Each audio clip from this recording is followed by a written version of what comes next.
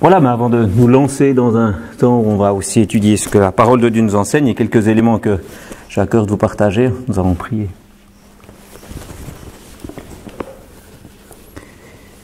Éternel notre Dieu, c'est devant le roi de gloire que nous nous retrouvons, le Saint des saints, celui qui a créé le monde, qui nous donne la vie, qui nous garde en vie.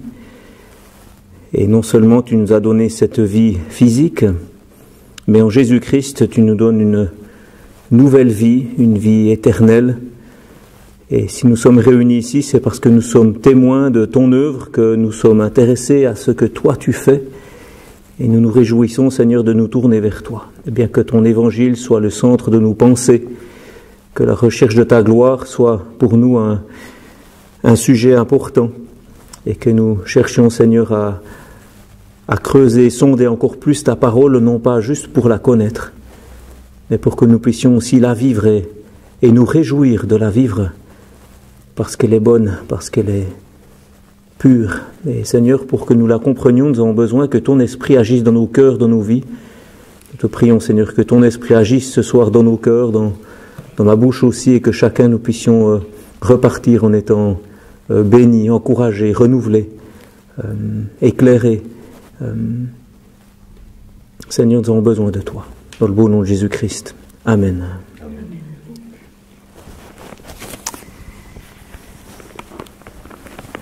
Alors, je pars d'un élément de témoignage, puisqu'il y a un peu cette notion qui m'a été demandée, mais je vais partir assez rapidement sur un enseignement que, que j'aime donner à bien des endroits, parce qu'il vient justement d'un élément que Dieu m'a permis de découvrir. Il y a quelques années maintenant, j'ai dû reprendre un, un cours de formation pour des jeunes et puis, euh, il y avait dans ce cours de formation un cours d'aide à la relation. Et puis, toutes les formations que j'avais faites jusque-là, c'était des formations plutôt, euh, disons, psychologisantes, où on mettait un peu de Bible dedans. Et puis ça, j'avais de la peine, en fait. Et puis, je me disais, mais qu'est-ce que je vais faire avec, avec ces jeunes Et puis, euh, on a fait un temps de, de stage. Et dans ce temps de stage, entre deux églises, eh bien, on a découvert un, enseignement qui en fait donne des outils, qui donne une structure pour que la parole de Dieu nous aide à, gérer les relations. Et en fait, je vais vous partager cela. Parce que ça fait maintenant un certain nombre d'années que je l'enseigne, et puis chaque fois que je peux, je le fais, euh, parce que ça nous aide aussi à, à grandir et progresser. C'est donc la notion de ce que j'appellerais l'artisan de paix. Je ne sais pas si vous avez entendu parler de l'artisan de paix, ça vous dit quelque chose? Oui? Tu connais de Ken Sandy? Ok, ah non, d'accord. Ok. Donc c'est simplement, pour moi, l'outil, il est égal en fait. Ce qui est important, c'est qu'on revienne dans la parole et que ça nous aide à revenir à la parole. Donc on va commencer par un premier texte dans 2 Corinthiens, au chapitre 5, qui est dans un sens le texte fondateur pour toutes nos relations. Et de là, nous allons donc euh, explorer plusieurs pistes. Nous utilisons notre main ce soir et donc chaque fois que vous verrez votre main cette semaine, la semaine, les semaines qui viennent, ben, j'espère que ça vous rappellera ce que l'on verra ensemble ce soir. Donc 2 Corinthiens 5, alors on va lire depuis le verset 14 jusqu'au chapitre 6, verset 1.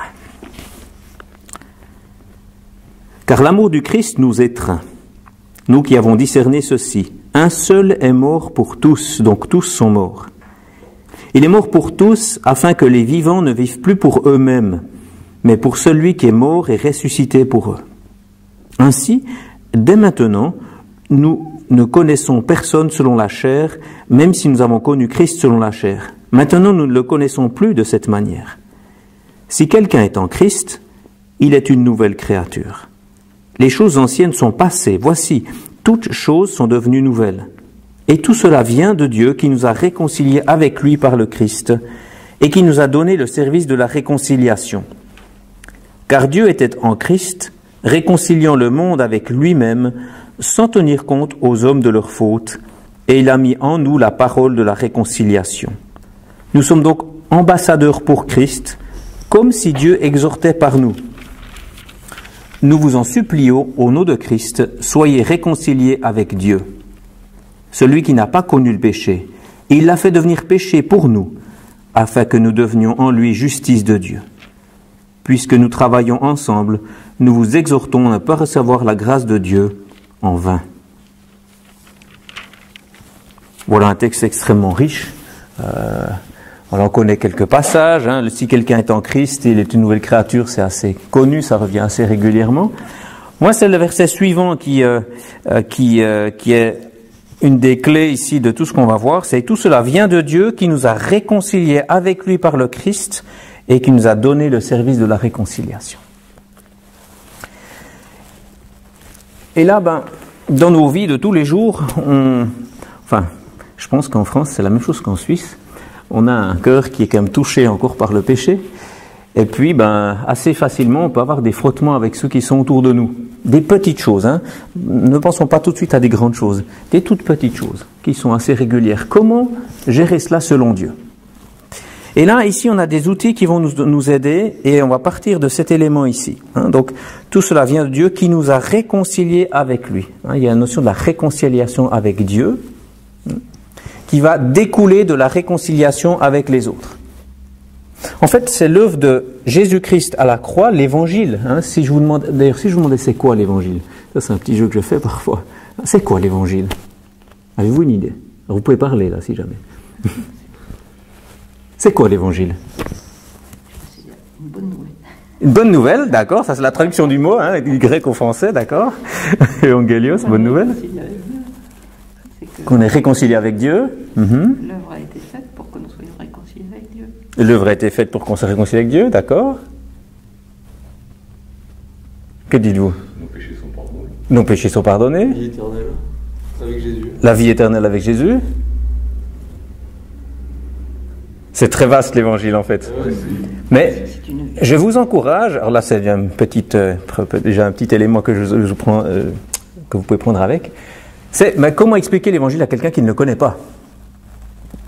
Hein, Et ça, c'est de se dire mais comment est-ce que je lui explique? Nous, on le sait, mais comment on l'explique? Voilà, je ne vais pas le faire maintenant parce que j'ai d'autres choses à, vous dire, mais c'est l'évangile, c'est le centre. Hein, vous avez donné éléments, des éléments clés ici qui montrent que c'est là qu'on va donc puiser nos forces pour vivre nos relations. C'est dans l'évangile, dans l'œuvre de Christ qui est totalement accomplie. Hein. Et donc là, si on prend la main, je vous ai dit que je parlais de main, ben elle est là. Donc vous avez votre main. Votre main, elle est rattachée au corps par le poignet. OK? Donc si ici, bon, imaginez pas trop, mais quand même, si je coupe la main et que je la mets au milieu, va-t-elle encore être utile? Non. Je pense que c'est assez clair. Eh bien, essayez de gérer nos relations d'une manière qui glorifie Dieu sans l'évangile, c'est la même chose que de couper la main et d'essayer d'utiliser cette main. Donc tout ira en lien avec l'évangile. Nos relations doivent être vécues en lien avec ce que Christ a accompli avec l'évangile de Dieu. Comprenez l'idée? Et c'est ici, ce texte de 2 Corinthiens 5, et particulièrement le verset 18, mais même tout le passage qu'on a lu hein, de, 17 à, de 17 à 21, souvent que, que j'utilise, qui nous montre justement que c'est par cette porte-là qu'on doit entrer pour vivre des relations réconciliées. Et ça, c'est un élément fondamental, parce que ça va nous aider aussi à nous rendre compte qu'en fait, quand on est dans une situation où ben, peut-être l'autre a fait du mal, et puis où moi j'ai subi quelque chose, ben, je vais d'abord me rappeler que moi-même, j'ai aussi été sauvé de mes péchés. Et je vais pouvoir aborder l'autre personne, non pas avec une attitude où je me mets au-dessus de cette personne, mais plutôt une attitude où on est exactement au même niveau. On a besoin les deux de l'évangile. Donc ça, c'est un élément qui est vraiment fondamental et vous verrez maintenant que les cinq doigts de la main vont nous donner des outils utiles. Hmm? Donc le premier doigt de la main, ce sera le pouce. Le pouce et l'auriculaire, c'est ça, hein le pouce et l'auriculaire sont des habitudes qu'on est appelé à vivre dans les relations. Hein? et ces deux habitudes, vous verrez que chaque élément est basé chaque fois sur un texte biblique qui nous permet vraiment d'ancrer la parole et de le vivre. Le premier, c'est donc cette notion de glorifier Dieu, rendre gloire à Dieu. Alors juste encore, ah oui, une chose que je vais vous dire, c'est que ici, l'évangile, je vais l'appeler l'œuvre de rédemption. Vous me permettrez de faire un synonyme évangile-rédemption. Parce qu'en fait, j'ai besoin de ça pour avoir des R. C'est tout des R, en fait. Donc là, c'est l'œuvre de rédemption, hein, l'évangile. Et ici, rendre gloire à Dieu. Pourquoi allons-nous rendre gloire à Dieu? Parce que nous sommes sauvés, parce que nous avons reçu la vie éternelle, parce que nous avons reçu la vie. Enfin, quand on commence à comprendre tout ce qu'on a reçu de Christ et de Dieu, je veux dire, la, chose qu'on désire faire au moment où on le saisit vraiment, c'est lui rendre gloire. D'ailleurs, on a été créé pour ça. On a été créés pour rendre gloire à Dieu. Et là, il y a un texte de base qu'on peut prendre avec nous. Euh, ben, on peut le chercher. C'est dans 1 Corinthiens 10, 31. Peut-être vous le connaissez. Parce que le but après, c'est de les apprendre par cœur, évidemment, et de les avoir dans la tête. Hein. Celui-là, il est assez facile. Ou dans le cœur, merci. c'est encore mieux. Donc, 1 Corinthiens 10, 31. Qui veut nous le lire? C'est Vincent, c'est ça? Étienne. Étienne, ben voilà. Étienne, Christine, c'est ça? Christian. Christiane, Étienne, Christiane, Ruth, Sarah, Lai, Ramon. Et Marly, ça, ça va. Par Étienne, c'est ça Étienne. Tu peux nous lire, s'il te plaît Soit donc que vous mangiez, soit que vous buviez, soit que vous fassiez quelque autre chose, faites tout pour la gloire de Dieu. C'est assez clair, non? Soit que vous mangiez, soit que vous buviez, ou quoi que vous fassiez. Bon, ben voilà. Faites tout pour la gloire de Dieu. On a vraiment cette notion de vivre pour la gloire de Dieu en chaque euh, circonstance. Et là, je vous donne juste une, euh, un petit élément. Euh, Est-ce que quelqu'un a un iPad Mais vous savez ce que c'est un iPad Une tablette. D'accord, c'est égal. C'est très souvent utilisé. Alors je vais vous donner la vraie signification de iPad. Comme ça, vous pourrez l'apprendre avec vous. iPad veut dire, bon, i ça vient de jeu en anglais, voilà. Mais pad c'est plaire à Dieu. Je plais à Dieu. Donc chaque fois que vous prenez une tablette, vous pensez à iPad. Je plais à Dieu. Vous voyez Donc c'est cette notion de rendre gloire à Dieu à chaque instant. Dans, un camp d'enfants, j'avais enseigné ça, et puis on- tout à coup, il y avait une situation un peu plus hum, désordonnée, on dira ça comme ça. Et puis les enfants avaient entendu cet enseignement, et un moniteur tout à coup dit iPad. Très intéressant. Parce que les enfants tout à coup, ils ont entendu ça, ils ont dit ah, comment est-ce que je peux plaire à Dieu là maintenant dans cette situation-là? Ça a complètement changé la situation. Et ben, dans ma vie, c'est déjà arrivé, malheureusement pas encore assez souvent, j'aimerais encore plus, hein, mais d'y penser à chaque instant. Dans des moments où, euh, quand ça va bien, ou dans des moments de conflit, en plein milieu là, tac Enfin, si vous savez ce que c'est un conflit, si vous ne savez pas imaginer, au milieu du conflit, iPad. Il y a comment je peux plaire à Dieu là maintenant, avec ce que je vais dire, ce que je vais faire, etc., comment je vais réagir. Vous voyez? Donc là, rendre gloire à Dieu, c'est une habitude qu'on peut avoir avec ou sans conflit, évidemment. Donc il n'y a pas de conflit pour plaire à Dieu. Hein mais dans toutes circonstances. Et donc, pourquoi on veut plaire à Dieu? Parce que Dieu nous a donné la vie en Jésus-Christ, la vie éternelle, l'évangile, etc., la rédemption. Ça joue? Vous avez checké? Donc, rédemption, rendre gloire à Dieu, c'est une habitude. Ensuite, on arrive dans les autres. Euh, la deuxième, troisième et quatrième ici, c'est lorsqu'il y a un conflit. On va utiliser ces trois étapes, mais dans cet ordre-là. D'accord? Donc la deuxième, c'est Matthieu 7.5 qui va nous l'apprendre. Donc on va ouvrir nos Bibles. Enfin, vous pouvez si vous le connaissez, hum, euh, là je l'ai fait apprendre en principe par cœur à ceux avec qui j'enseigne, comme ça ça doit venir dans notre tête hein, au moment où je lis, mais là on peut très bien aller le voir. Alors Matthieu 7.5, alors qui veut nous le lire?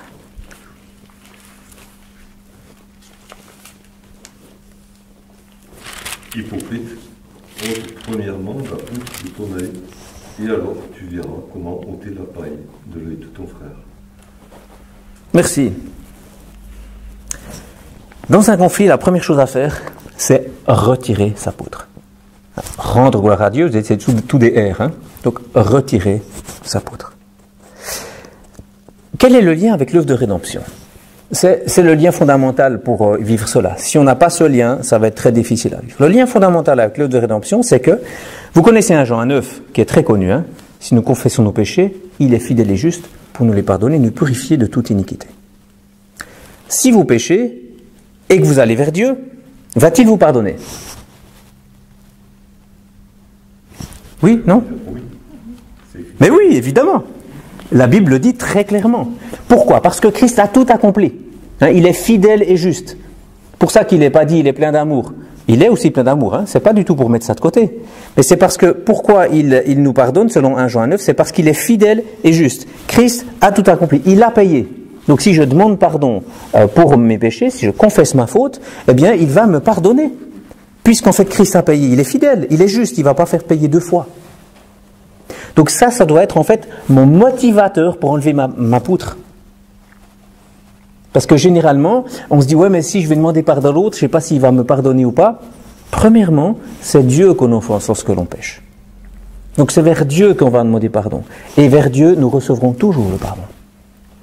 Et cela nous permet de déjà faire cette démarche de demander pardon à Dieu dans le conflit dans lequel on est, et puis ensuite d'aller vers l'autre personne. Et on n'est même plus dépendant du pardon de l'autre personne pour se dire est-ce que je serai sauvé ou pas? Non, Dieu m'a pardonné. Par contre, je serai dépendant du pardon de l'autre personne pour la relation avec cette personne, évidemment, parce que là, ça, doit se reconstruire. hein. Vous comprenez cet élément de l'évangile? Donc quand on comprend que Christ a tout accompli, quelle que soit la faute qu'on a, faite, eh bien on peut demander pardon et il va nous pardonner. Et là, euh, ne, ne faites pas la règle du 40-60. La règle du 40-60. Vous ne connaissez pas Je vais vous l'expliquer. Mais il ne faudra pas la vivre alors. Hein 40-60. En France, on connaît le 69.3. C'est c'est des mathématiques, alors j'espère que. Mais bon, on va s'aider si jamais. Donc, c'est quand moi j'ai 40% tort et l'autre a 60% tort. Vous voyez? 40%, 60%. Donc il y a combien de différence 20%. Donc l'autre a 20% de plus de tort que moi. Ça va? Jusque-là, c'est pas trop difficile. Donc ça veut dire que c'est l'autre qui doit commencer à venir me demander pardon, évidemment. Vous êtes d'accord? C'est pas les mathématiques de Dieu. Je vais vous les montrer, les mathématiques de Dieu. Les mathématiques de Dieu, c'est ceci. Vous avez 98%.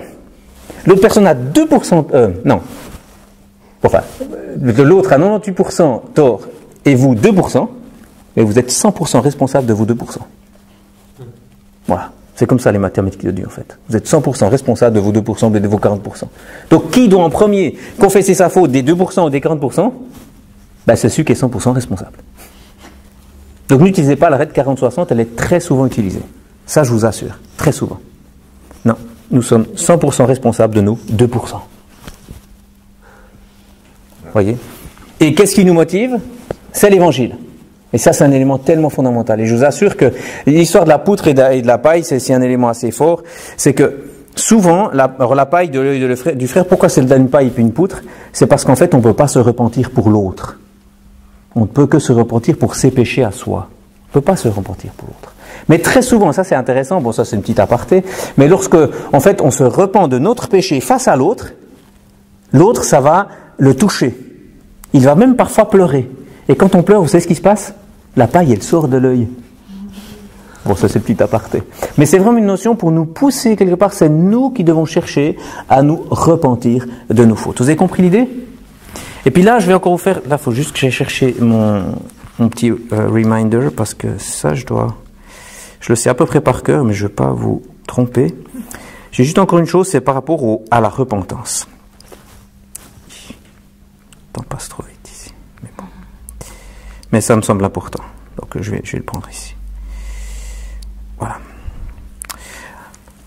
J'ai malheureusement trop souvent vu, dans ma propre vie et dans la vie de beaucoup de personnes, que en fait, on ne sait pas se repentir.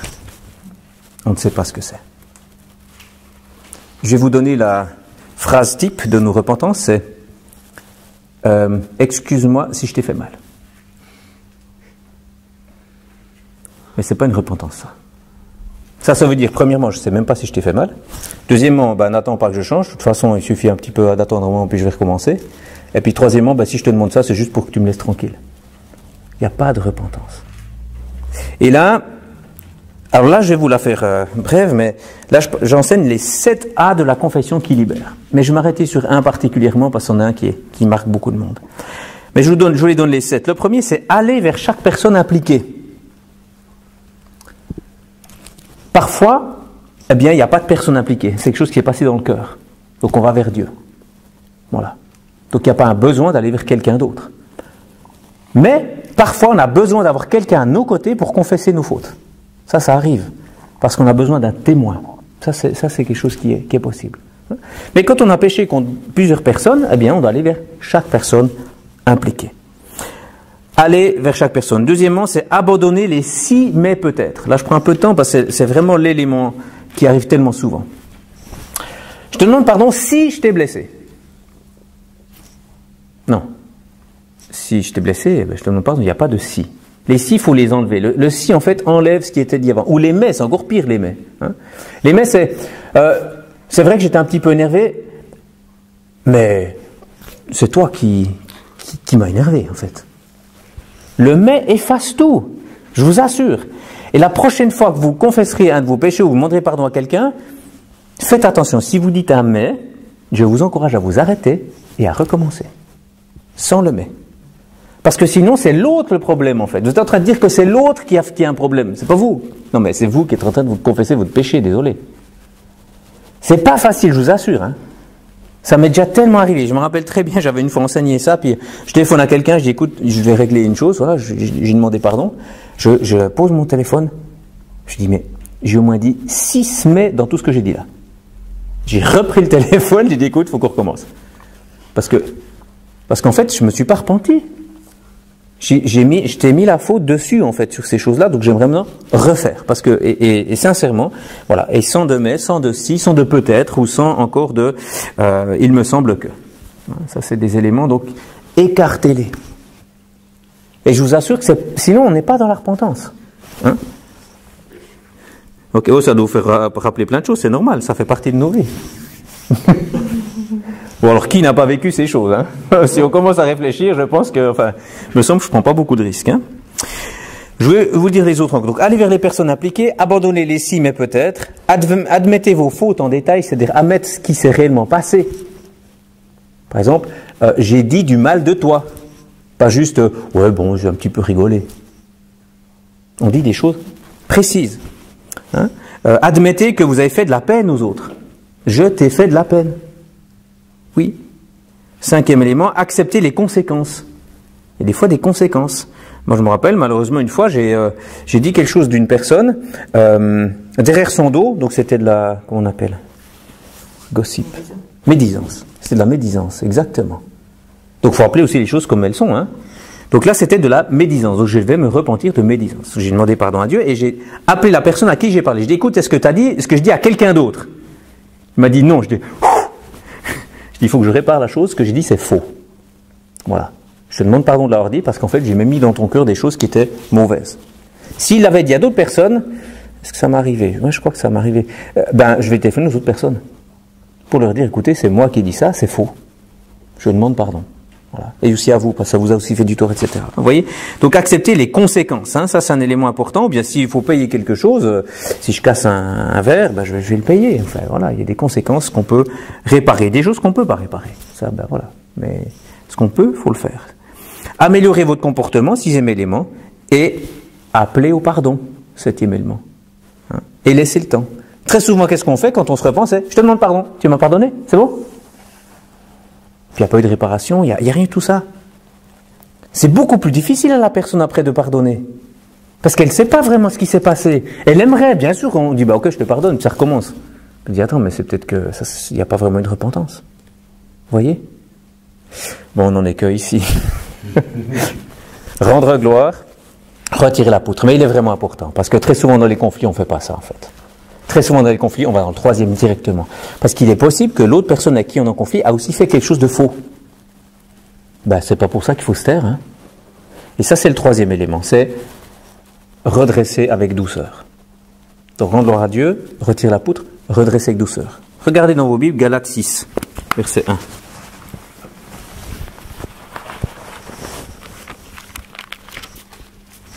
Alors, qui veut nous lire Galates 6, 1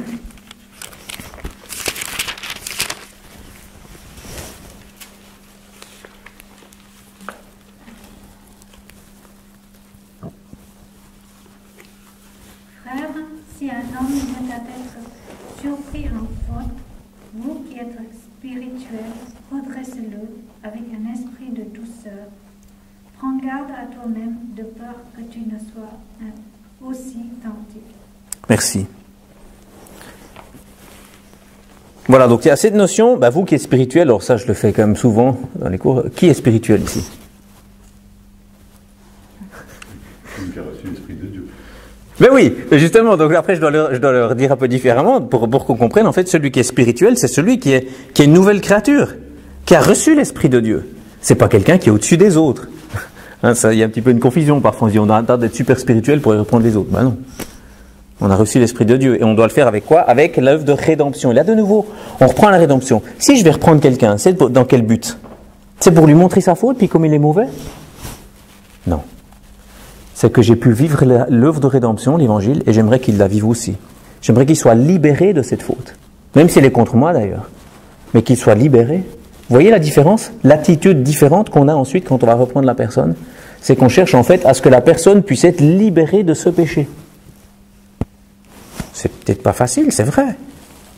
Mais je vous assure qu'en ayant cette attitude-là de l'évangile, eh bien, on, on ne va pas agir de la même manière que si on veut faire justice nous-mêmes ou si on veut faire comprendre à l'autre combien il a fait quelque chose de mal.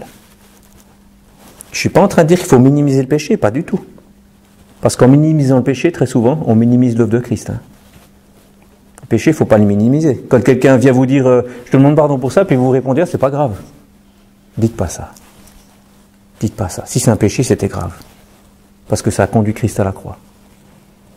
Dites simplement Je suis aussi pécheur, j'ai reçu le pardon de Dieu, donc je te le donne très volontiers. Vous voyez la différence? Donc c'est pas prendre les, choses à la légère, c'est plutôt les prendre d'une manière juste, c'est-à-dire ben, j'ai reçu un pardon, j'aimerais que tu le reçoives aussi.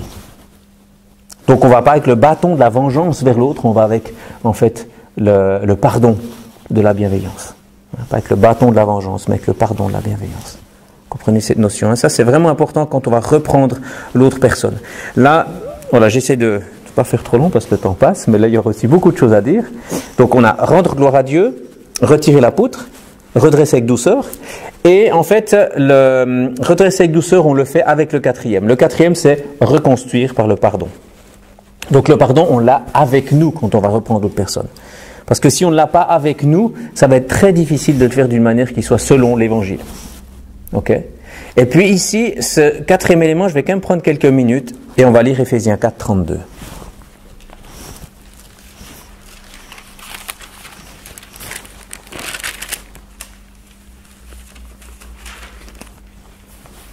Alors si quelqu'un peut nous lire Ephésiens 4, 32. Soyez bons les uns envers les autres, compatissants, vous pardonnant réciproquement, comme Dieu vous a pardonné en Christ. Waouh Pardonner comme Dieu a pardonné en Christ.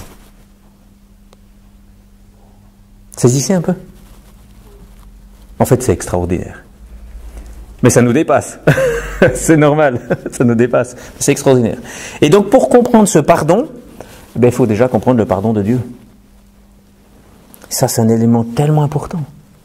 Et j'ai aussi très souvent malheureusement vu que bien des gens, même qui ont été pendant de longues années dans des milieux évangéliques, on lit la Bible, etc., ne comprennent pas ce qu'est le pardon de Dieu. Qu'est-ce que c'est que le pardon de Dieu? Alors là, vous connaissez un psaume qui parle du pardon? On connaît deux psaumes qui parlent de la repentance, assez facilement, mais un psaume qui parle du pardon. Pardon un peu de toi, enfin un peu plus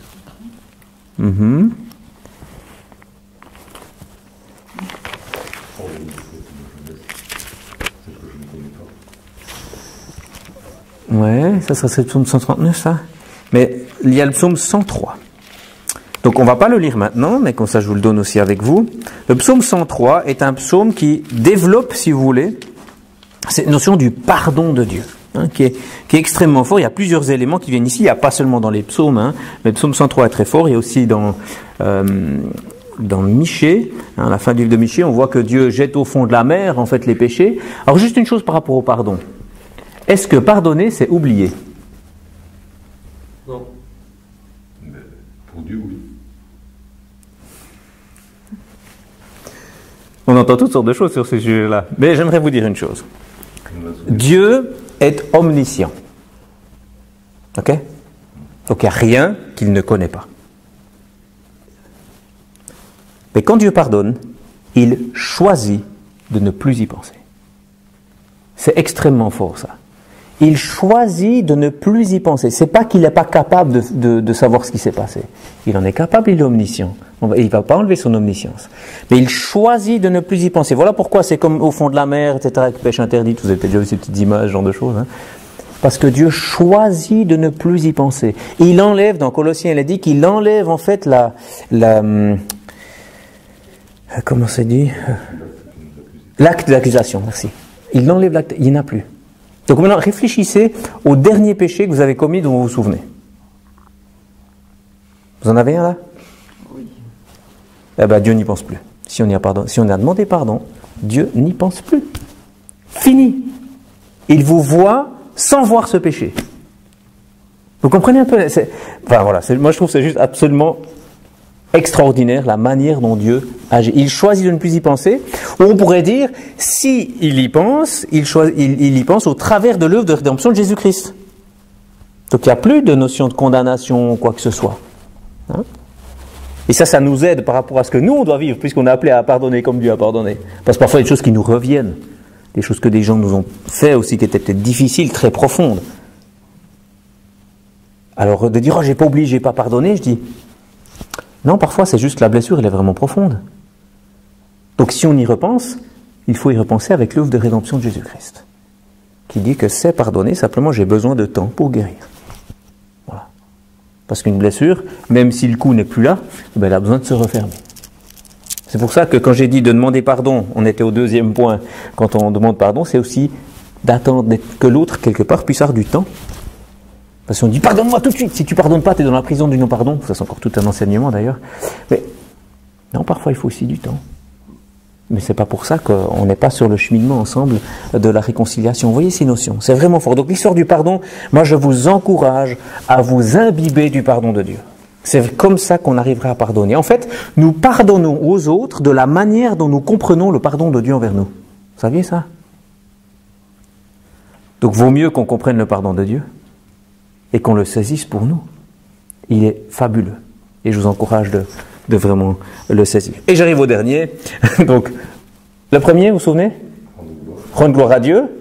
Deuxième, retirer l'apôtre. Redresser avec douceur, Galates 6, 1, ouais. Reconstruire par le pardon, c'est juste le pardon, reconstruire. Alors, il y a toujours les versets 1 Corinthiens 10, 31, rendre gloire à Dieu, donc retirer l'apôtre, Matthieu 7, 5, redresser avec douceur, Galates 6, 1. Euh, reconstruire le pardon, Ephésiens 4, 32. Et puis le dernier, c'est rechercher la réconciliation. Alors c'est comme le premier, c'est une habitude en fait qu'on serait appelé à avoir. Hein, et rechercher la réconciliation, c'est Romains 12. Alors c'est vrai que parfois je demande quel est le quel est chapitre dans la Bible qui parle de l'amour. Et vous, vous me direz, je pense, à peu près habituellement. Voilà, 1 Corinthiens 13. Et puis là je vous dis, c'est bien, et il y en a un deuxième, c'est Romains 12. Et Romains 12, si on prend du verset 9, hein, qui dit que l'amour soit sans hypocrisie, et après, tac, jusqu'au verset 21, pardonnez-moi si je me trompe avec le nombre, mais il me semble qu'il y a 26 impératifs ici, du verset 9 au verset 21, qui en fait sont une suite de cette notion de que l'amour soit sans hypocrisie. Et on a toute la suite ici. Donc c'est extrêmement condensé, extrêmement fort. Et puis c'est le verset 21, euh, on va tout à la fin, qui est donc notre référence ici. Ne sois pas vaincu par le mal, mais vainqueur du mal par le bien. C'est ça, rechercher la réconciliation constamment. C'est-à-dire que même si l'autre ne veut pas, parce qu'il y a toujours la question, si l'autre ne veut pas, et ça arrive, et ça arrive. Donc qu'est-ce qu'on doit faire si l'on ne veut pas? Ben, Premièrement, on doit revenir. Est-ce que je rends gloire à Dieu dans ma manière d'agir envers cette personne? Est-ce que j'ai retiré ma poutre? Est-ce que euh, dans le euh, reprendre avec douceur, je l'ai vraiment fait dans cette attitude de l'œuvre de rédemption? Est-ce que mon pardon est prêt? Vous voyez ça? Et puis chaque fois, on revient quand même sur tous ces éléments. Puis on dit, tout ça c'est fait, et je veux le faire, et je veux le vivre, et l'autre ne veut pas. Eh bien là, c'est... Euh, c'est de Romains 12 aussi, le verset 18 qui nous dit, s'il est possible, autant que cela dépend de vous, soyez en paix avec tous les hommes. Donc si j'ai tout fait et que l'autre ne veut pas, on doit s'arrêter, sinon on commence à jouer à Dieu en fait. On va commencer à changer le cœur de l'autre. Ça, on ne peut pas le faire. Par contre, on doit toujours être prêt, quelque part, à dire, dès qu'il y a un mouvement, dès qu'il y a une possibilité, une porte qui s'ouvre, je serai là. Je suis prêt. Je veux vraiment le vivre. Et donc, je vais chercher à vaincre le mal par le bien. Hein, cette notion de faire le bien, c'est pour ça que juste avant le verset 20, il y a ces notions de, euh, charbon ardent sur la tête, etc. c'est dans ce contexte ici. Hein. En fait, on cherche à faire le bien, même à ceux qui nous font du mal et qui ne veulent pas euh, entrer en euh, paix avec nous. Et donc ça, c'est le cinquième R, rechercher la réconciliation en tout temps. Mais peut-être un peu moins euh, dramatique que les situations où l'autre ne veut pas. Euh, il est aussi important de dire que dans cette habitude, on doit se dire, mais si maintenant vous deviez réfléchir et noter un peu toutes les personnes avec qui vous avez des relations, est-ce que vous pourriez dire à, côté de chaque nom que vous êtes en paix? Et si vous ne pouvez pas le faire, moi je vous encourage à, prier le Seigneur et à chercher la force aussi en lui pour vivre ce cheminement, pour entrer dans cette paix. Et puis si l'autre ne veut pas, comme on vient de le voir tout à l'heure, ben voilà, on ne va pas forcer la personne, mais être prêt à vivre. Et on revient toujours à l'œuvre de rédemption, rendre gloire à Dieu, retirer sa poutre, peut-être qu'il y a un élément eh bien, qu'on n'a pas retiré et qui bloque l'autre aussi parfois. Euh, redresser avec douceur, peut-être qu'on n'a pas fait ce, cheminement, et puis donc euh, reconstruire par le pardon, le pardon n'est pas prêt. Vous voyez? Donc vous voyez cette main maintenant, je vous ai dit qu'on parlerait de la main. Et j'espère que quand vous verrez votre main, vous allez vous souvenir de quelques éléments. J'ai eu un tout petit peu plus qu'une demi-heure, j'ai presque mangé un peu de la, la faim là, hein, mais, mais pour vous donner ces éléments, c'est vraiment, c'est des éléments clés. Je prends parfois des dizaines d'heures pour enseigner tout ça, donc euh, il y a beaucoup de choses là derrière, mais je vous assure que c'est, moi je trouve c'est fabuleux. Plusieurs personnes m'ont dit, mais en fait il y a tout ce qu'il faut dans la Bible pour les relations. Puis je dis, ben oui évidemment, il y a tout ce qu'il faut dans la parole de Dieu, mais c'est pas simple. Attention, hein, il ne faut pas simplifier les choses. Mais nous avons les éléments dont on a besoin. Et, souvent, il y a cette notion de vraiment repentance et de pardon. C'est deux éléments clés. Et souvent, on complique beaucoup de choses au lieu simplement être dans la repentance et dans le pardon. Donc, dernière fois, donc la main, est reliée au corps par. L'évangile, l'œuvre de rédemption, exactement, parfait. Et puis donc, le premier réflexe à avoir en tout temps, iPad, rendre gloire à Dieu, 1 Corinthiens 10, 31. Ensuite, Retirer l'apôtre, hein, Matthieu 7, 5. Troisième élément, redresser avec douceur, Galates 6, 1. Reconstruire. Par le pardon, exactement, Ephésiens 4, 32, qui est très très fort. hein. Et puis, dernier élément. Rechercher la réconciliation. Et Romains euh, 12, 21 est là notre base. Voilà, je vais m'arrêter là. Euh, je peux simplement vous donner euh, peut-être quand même un témoignage, tu me permets encore ou bien? D'une personne qui est donc euh, venue vers moi un jour, elle voulait euh, changer d'église et venir dans l'église euh, où nous sommes. Puis j'ai dit, mais pour quelle raison? Cette autre personne m'a dit, ben on a problème avec notre pasteur. J'ai dit, ben alors j'accepte pas que vous veniez. J'ai dit, la seule chose que j'accepte, si vous voulez, c'est de vous aider à vous réconcilier avec votre pasteur. Mais j'accepte pas que vous veniez dans l'église sans régler cela. Bon. Et puis la personne, ensuite, je crois qu'elle m'a dit tout de suite, ou bien Ou bien peut-être une semaine plus tard, il m'appelle, il me dit, mais on, on aimerait vraiment qu'on puisse parler ensemble. Ok? Je suis heureux. Et je leur ai fait l'histoire de la main, là. Ok? Et en fait, on a cheminé avec ces textes de la parole, donc rendre gloire à Dieu, retirer la poutre. La personne s'est rendue compte que c'est dans son cœur qu'il y avait une amertume, en fait, face à son pasteur. Elle, elle, euh, elle a demandé pardon à Dieu, et la personne a complètement changé. Mais physiquement. Marlise est témoin, hein, donc elle, c'est une personne qui était vraiment la, tête basse, le, le cœur tellement lourd que la tête était lourde avec, hein, et qu'en fait, au moment où elle a pu se libérer, de demander pardon à Dieu hein, de, ce qu'elle avait euh, vécu, elle a complètement changé. Donc ils sont restés dans l'église où ils sont, ils viennent euh, régulièrement à l'étude publique euh, chez nous, mais ils restent là dans, dans leur église, et le pasteur sait qu'ils viennent à l'étude publique là, donc tout est, tout est clair. Puis là, j'ai vu, je me dis, mais c'est juste fabuleux en fait. On met simplement la parole en pratique. Alors je vous en donne un, je pourrais vous en donner d'autres, hein, mais je donne un qui, qui, qui est vraiment très marquant et que Marlise aussi connaît, connaît bien. Et on a vraiment vu un changement, mais une personne qui est, qui est rayonnante maintenant. Pourquoi? Parce que l'évangile a agi dans son cœur. Hein?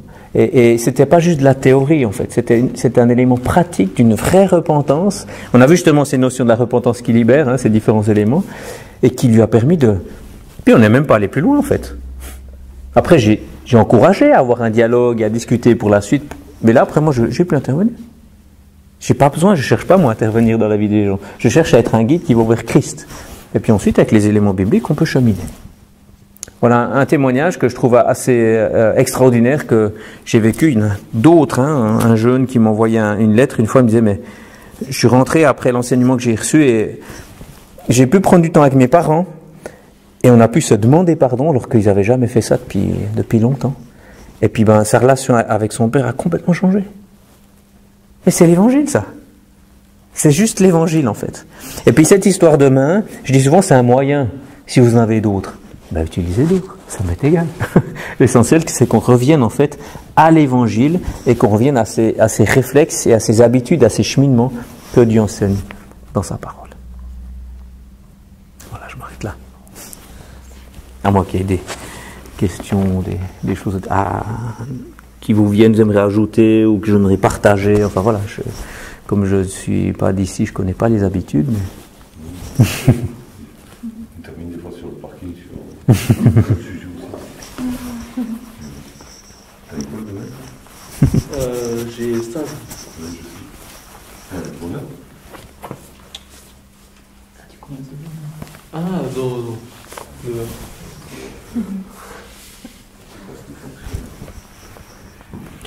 Allez, je serai solidaire. Quand tu parlais, de, Je serai solidaire avec vous. quand tu parlais de- du fait de retirer la poutre, Oui. venu un verset. euh, euh, Est-ce que on pouvait, alors j'ai pas eu le temps de fouiller, hein, euh, mettre en parallèle de retirer cette poutre et euh, ce que dit Pierre dans le deuxième épître Euh, mais celui à qui ces choses ne sont point est aveugle, il, ne voit, il ne voit pas de loin, il a mis en oubli la purification de ses anciens péchés. De, de- de Pierre, chapitre 1er, verset 9. Ouais, c'est ça. Ben, c'est le, le poignet. Tout à fait. C'est vraiment la main là au milieu qui n'a plus de lien avec le poignet. Euh, Tout à fait. Ah, bien sûr, c'est tout à fait en lien. D'ailleurs, je fais méditer ce texte-là aux jeunes en lien avec ça, qui se rendent compte que quelque part, un, des problèmes fondamentaux qu'on a dans notre vie chrétienne ici-bas, c'est qu'on oublie l'œuvre de rédemption. On l'oublie très souvent, en fait. Je parle pas du dimanche ici, hein. Je parle de quand on n'est pas avec d'autres euh, frères et sœurs et puis qu'on vit notre vie de, de tous les jours. Euh, c'est souvent là on oublie en fait cette œuvre. On réagit comme s'il n'avait pas, pas jamais agi, s'il n'avait jamais pardonné les péchés, etc. Je le dis pour moi, hein, je ne parle pas seulement pour vous, hein, donc on est dans, ce même cheminement, mais c'est c'est ça, et souvent quand on se rappelle, c'est là, ah ouais, ah oui quand même, ce qu'il a fait pour moi, ben maintenant je peux aussi le donner à d'autres. Ce que j'ai pas dit avec le pardon, c'est que le pardon, souvent, on ne l'a pas. On ne l'a pas. On doit aller le chercher. On doit puiser, en fait, auprès de celui qui a le pardon pour pouvoir le donner. Comme l'amour, comme la bonté, etc. Mais voilà, oui, tout à fait. Alors, c'est un 2 Pierre. Un 9 est très très fort.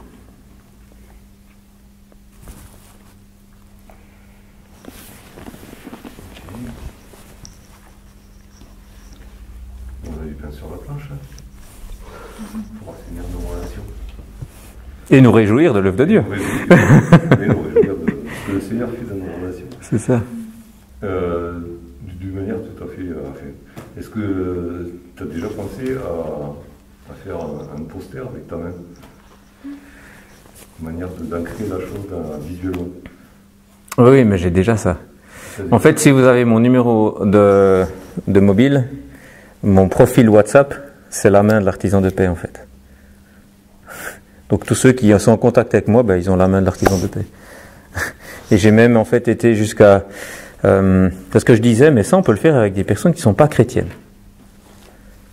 Il y en a qui me regardaient avec des points d'interrogation. Puis en fait, dans un, dans un cours avec des jeunes, ben, j'ai dans une semaine enseigné en fait cette partie-là de façon guillemets laïque.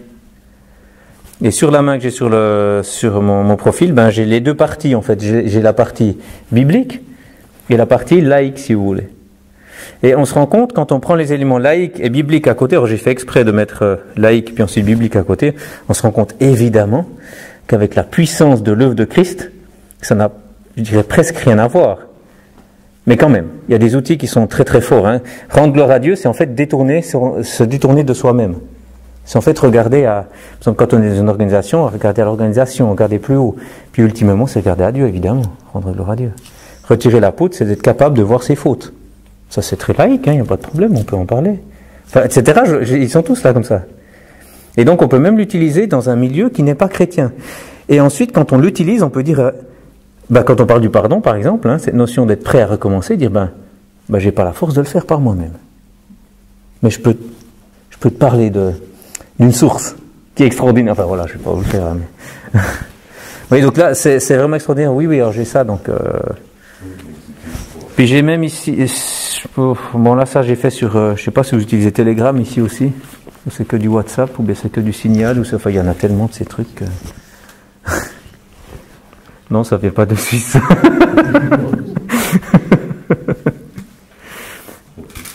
Mais bon, si ça vous intéresse, je peux, je peux transmettre, il n'y a aucun problème. hein, ouais.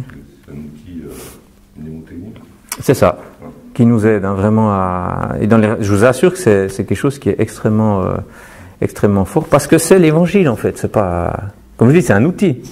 Vous avez un autre outil, utilisez-le. je ne suis pas venu faire une concurrence d'outils. Je suis venu par contre nous aider à revenir vers Christ toujours. Ouais.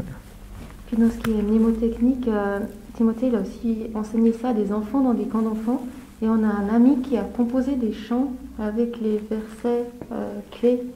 Donc euh, Mm. on a aussi des chants. On retient mieux chantant des fois. C'est ça. Mm, mm, mm, c'est vrai.